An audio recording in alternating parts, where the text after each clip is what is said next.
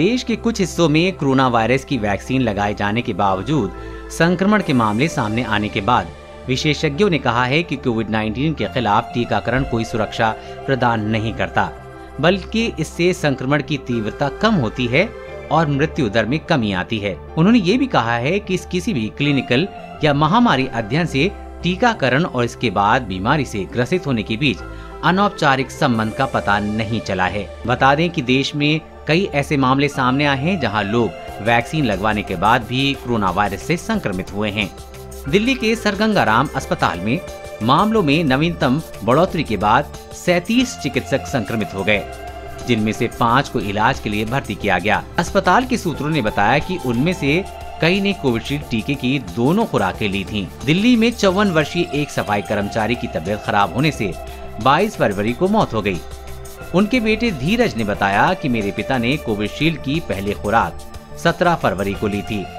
उस दिन जब वह घर लौटे तो असहज महसूस कर रहे थे और अगले दिन उनके शरीर का तापमान काफ़ी बढ़ गया, जो दो तीन दिन तक रहा। बहरहाल, केंद्र ने स्पष्ट कर दिया है कि कोविशील्ड और कोवैक्सीन दोनों सुरक्षित हैं और लोगों से अपील की है कि अफवाहों पर ध्यान नहीं दें।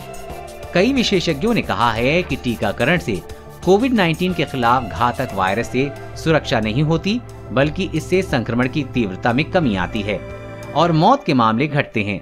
दिल्ली के अपोलो अस्पताल के डॉक्टर अवधेश बंसल ने कहा कि हम जानते हैं कि टीकाकरण के बाद भी संक्रमण के मामले आए हैं।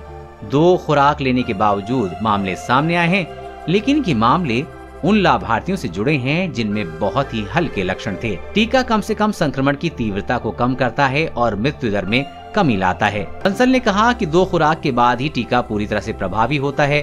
फोर्टिस अस्पताल की डॉक्टर रिचा सरीर ने बंसल से सहमति जताते हुए कहा कि दोनों खुराक लेने के बाद ही रोग प्रतिरोधक क्षमता बनती है।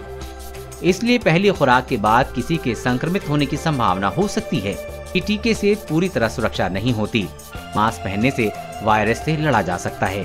कोरोना वैक्सीन लॉकडाउन से जुड़ी हर खबर सबसे पहले पाने के लिए चैनल को सब्सक्राइब करें और अपने दोस्तों के साथ शेयर करना न भूलें।